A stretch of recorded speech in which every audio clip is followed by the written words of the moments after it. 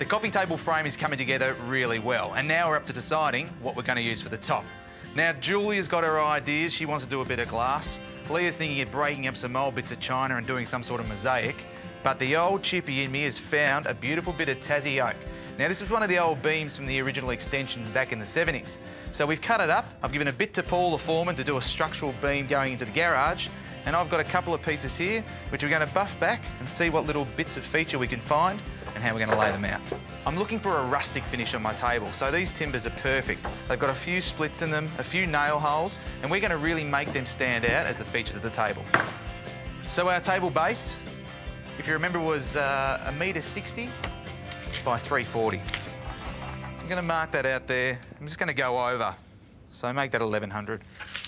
So now I've selected my area, it's time to put it all together. Now there's a couple of ways to go about doing this because we want to create some strength in this joint.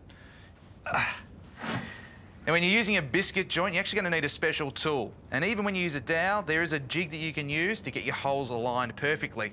But with this table, I'm going to show you a little way to get out of it without any of those expensive bits and pieces. So I'm going to line up both of my pieces on the table like that. There's a variance in height, but that's okay. Just marking out the end of my table. I'm going to give myself a couple hundred mil extra for when we cut them off later. From here, I'm going to start marking out my dowel locations. Now, 150 in. 150. 300. 300. Now, there's no regulation or specification on how often you need to space them.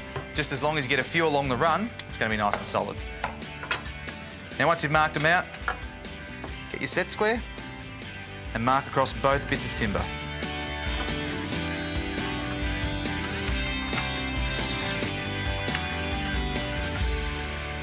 Now this wood's about 45 mils, so I'm gonna go 22-ish, so half that. And then from my two top sides, I'm gonna mark an intersection with the lines I've just done. So if I do this right, it's gonna pull my two tops together, nice and flush. So before I drill my hole for my dowels, I'm just gonna put a little punch in there, just gonna make sure my drill doesn't go offline.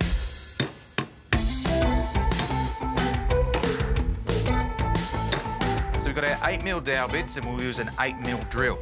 Now, they're 38mm long, so I want to drill in 20mm into each of our bits of timber.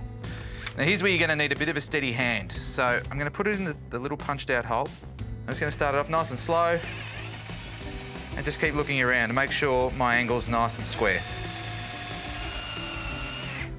Get down to the tape. Job's done.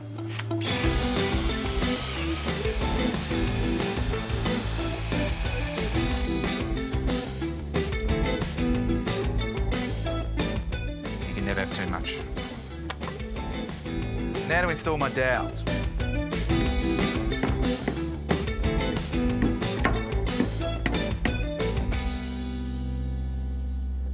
Line up our holes. And then wind them up. That's come out beautifully level, and that's what we wanted. Now we just got to let that dry. I'll go back to doing my legs. Then we come back and start finishing this off. Now the first stage of our tabletop is done, and I'm wrapped that we're using another bit of recycled material from the house. Now we get back to our legs. And because they're metal, there's a couple of ways we can fix these together. So I picked up a couple of different types of screws just to do a test on an old bit of steel first. Because it's really tough, I don't want them breaking off on my good table. And what we're looking for is a drill bit that's about the size of the shank. So you want to still hold the little ribs of the screw out themselves, so that's going to bite into your steel. So when you're drilling, you want to put a nice lot of pressure on the back of the drill there and going nice and slow.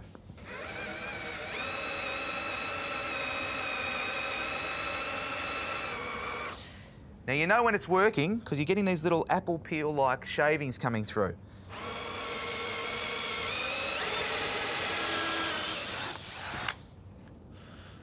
Now he's going to try our first screw. Plenty of pressure.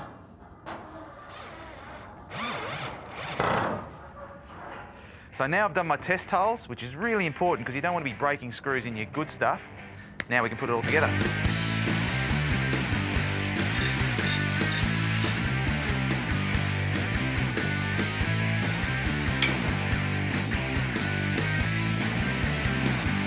Well, that's the structure done. And that is one sturdy base. Now we're ready for paint, but before we get into that, I'm just going to get rid of any flakes of paint and rust with a wire brush, and then we can apply the Hammerite.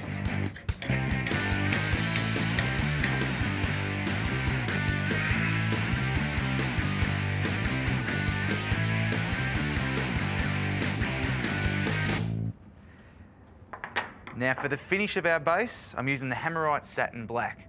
It's a great paint that's going to hide any imperfections of this old steel.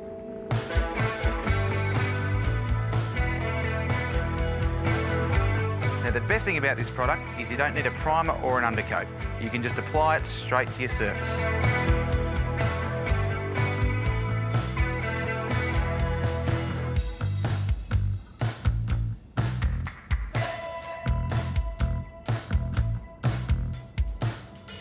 Well, there you go. What a transformation this has been from the front of our house to now our brand new coffee table.